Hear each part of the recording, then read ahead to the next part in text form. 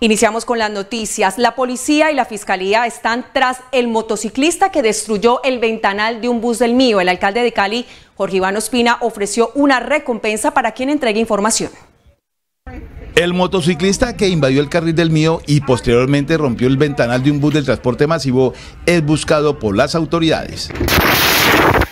El alcalde de Cali en sus redes sociales ofreció una recompensa de hasta 10 millones de pesos para quien suministre información sobre la identidad de este hombre. Mientras tanto, Metro Cali rechazó este tipo de actos de intolerancia que atentan contra conductores y pasajeros. Está denunciado ante la Fiscalía.